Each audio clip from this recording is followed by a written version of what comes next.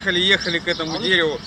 а, И дальше питерс- забыл, подожди. Ленинградская чапта, московская чапта. Мы сюда Ты приехали как паломники к этому дереву, которому 400 лет. Оно на самом деле очень крутое, растет в пустыне, одно единственное.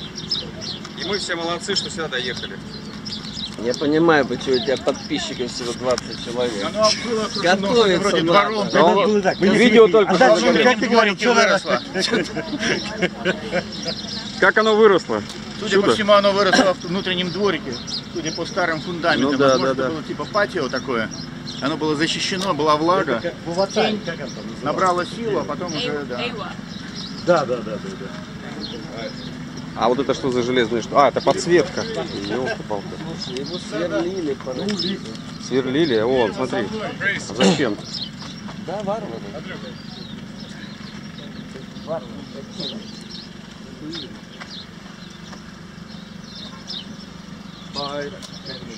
Больше не полезают.